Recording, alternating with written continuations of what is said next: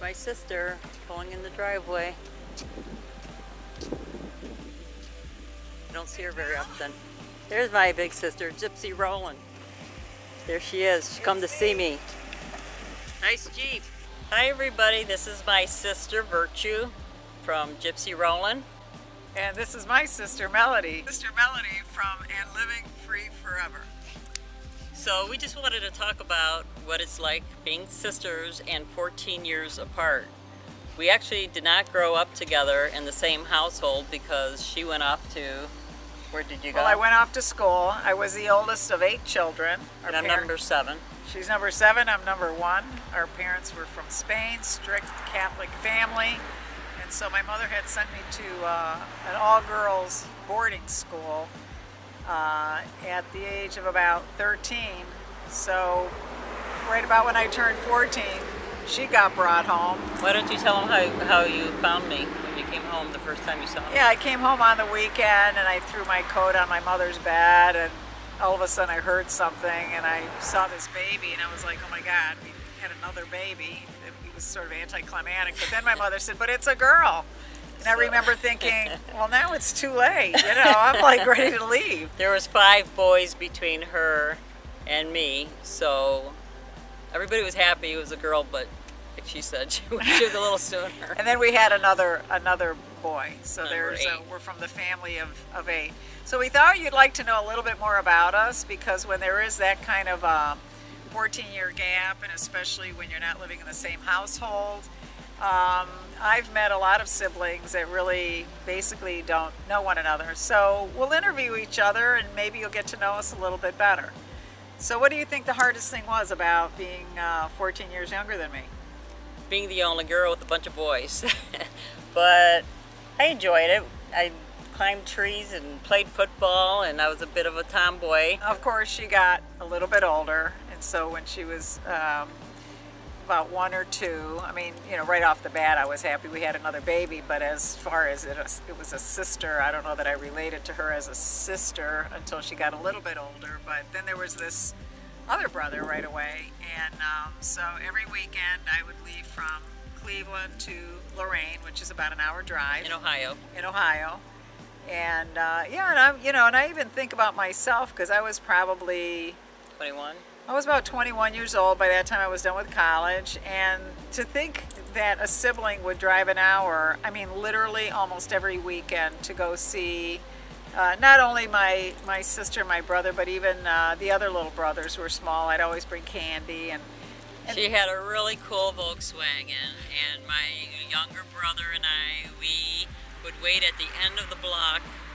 We'd run down, wait for her because we just you know, we could hear that Volkswagen coming from a couple of miles away and we were just so excited. So, you know, we'd see her coming down and we'd run back home. And the same when she left, we would run after her as she left because, you know, it was a used Beetle with these headers on it. So definitely it was very cool. Yeah. It was neat. So, um, being the youngest one at home, pretty much, and as I said, we had a very strict um, Spanish upbringing. What was the hardest thing about uh, growing in the household? Well, besides making sure we had good grades, uh, you, you, know, we had to make sure we took care of the garden and cleaning. And then I had the uh, roller skating practices and violin lessons, schoolers, and, and we didn't homeschool for religious reasons or for that reason, but mainly for freedom to be with our kids and to do things that we wanted to do when we wanted to. When you're in school, sometimes you're kind of stuck to that schedule. I never liked schedules, and I think maybe because I was so busy as a kid, once I was 18 and I moved out, I didn't like schedules. I never did, and I always worked for myself. I worked with my sister for a little while, which was a great experience, teaching me many things. So, and that brings us to children. Uh, Melody has two children. She has a son and uh, a daughter. How old are they? Uh, 13, going on 14, and 16. And I have nine children. No, I didn't make them all. Uh, people say, oh, you're so busy.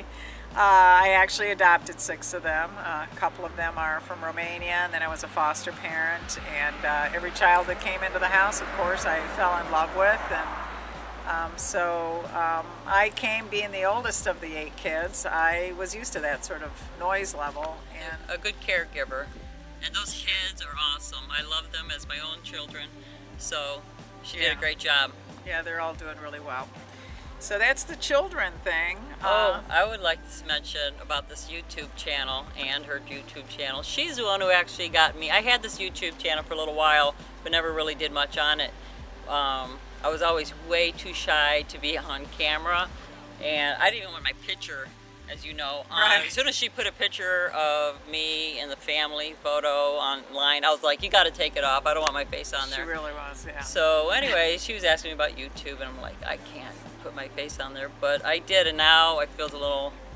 She actually told me about YouTube because I had never even heard of it. That's how like ridiculous I am. And so she started explaining it to me. Well, then once you started telling me about YouTube, I'm like a super intense person. Like once I'm into something, then I'm into it 110%. So then suddenly I'm like driving the hour and a half up to her house. You got to put me on YouTube because I'm going to buy an RV and I'm going to start my travels. And then all of a sudden she got back Yeah, into I, it. I got motivated, and we really are doing it because we just want to share with others. Who it turns out that there's many people who think like us or who enjoy what we have to say, and we love hearing what you have to say. Well, so- one of the things I was telling her when I first started looking, it seemed like there were all these like younger people, especially with the RVs, you know, the younger guys. And of course, they just seem to know everything about the, the computers and the editing and, you know, just how they make them. And of course, they can take a van apart, put it back together. And I said, we need something that's more like us. that maybe has, you probably saw my, my latest video, Frustrated and Sad, that I can't get on the road as soon as I want to get on. And Oh, gypsyrollin.com. You can take you directly to her YouTube channel. thank you. Yeah.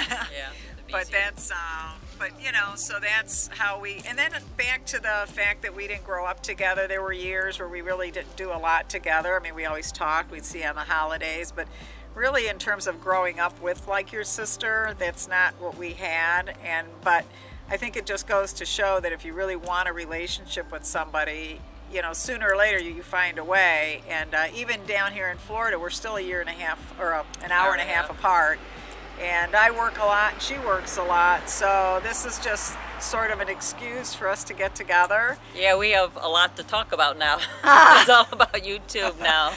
so anyway I really want to thank you for um, sitting in with us and kind of getting to know the both of us I'm sure you'll see us again but um, and please forgive our editing skills. We're going to get better and we're trying hard because we do enjoy making the videos, learning how to edit, and the quality will improve, I promise. so if you like this subscribe to Living free forever. or gypsyrollin.com and come and visit us again bye bye Bye.